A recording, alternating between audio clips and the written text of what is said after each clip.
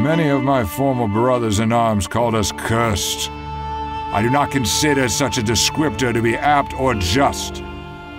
Being an apothecary, I work with only what I know and can see. However, not all are as I am. I learned that the hard way.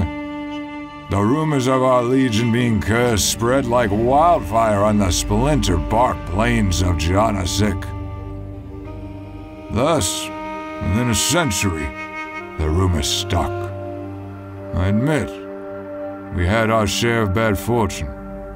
A warrior who cannot admit his losses doesn't deserve to speak of his victories.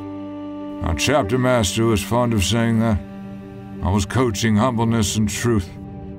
I hear his voice still, whispered sometimes on the wind, or echoing down an abandoned street.